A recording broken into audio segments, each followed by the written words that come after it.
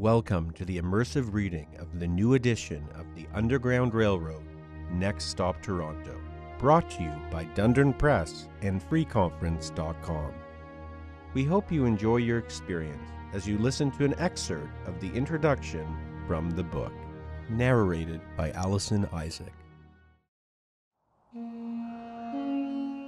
After the American Revolution, most northern U.S. states began to see the contradiction between depending upon this unpaid labor system and the freedom promised in the new American Constitution. By 1800, some northern states and Upper Canada had moved toward gradually ending slavery. However, the institution continued to enrich slaveholders in the largely agricultural American South especially after the 1793 invention of the cotton gin. This gin, or engine, combed the tiny, sticky seeds out of cotton fibers far more quickly than people could do it by hand, making cotton plantation agriculture immensely profitable.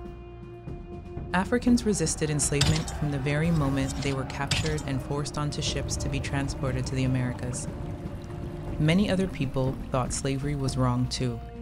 Some religious groups, such as the Society of Friends, known as the Quakers, preached against enslaving other people. Beginning in the mid 1700s in England, the United States, and Canada, black and white individuals, called abolitionists, stood forth to oppose slavery. They established anti slavery organizations, published pamphlets and books, gave public lectures, and pressured politicians to try to have slavery made illegal. But this forced labor system was very profitable, and many people in the northern states would not accept even free African Americans as equal citizens. Laws were passed to prevent black Americans from gaining an education, participating in the political process, or even deciding where they could live and work.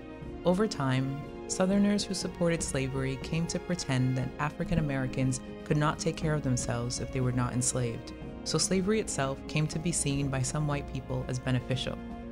But this was a lie to serve the financial interests of wealthy slaveholders.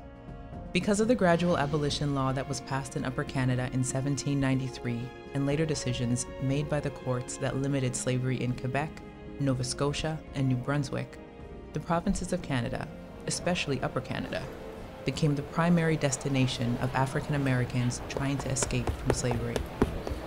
Called by those claiming their service fugitive slaves, today we know these brave individuals as freedom seekers, people who risked everything to liberate themselves.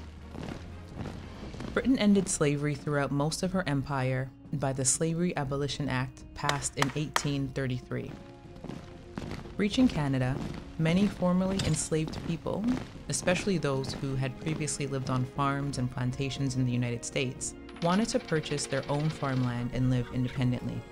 Rural colonies of freedom seekers, such as the Elgin settlement at Buxton, the Dawn settlement at Dresden, and the Refugee Home Society near Windsor, were testimony to the deep desire of black newcomers arriving in Canada West to own and operate their own farms and govern their own communities.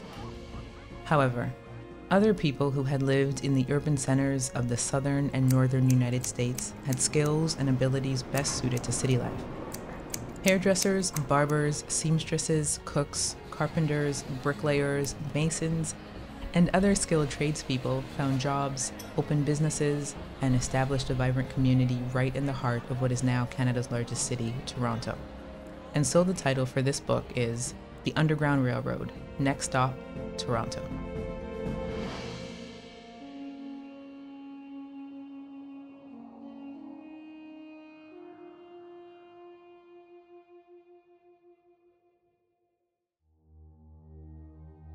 We hope you enjoyed this excerpt from the introduction of the Underground Railroad Next Stop Toronto. To learn more or to purchase a copy of the Underground Railroad Next Stop Toronto, visit dundurn.com.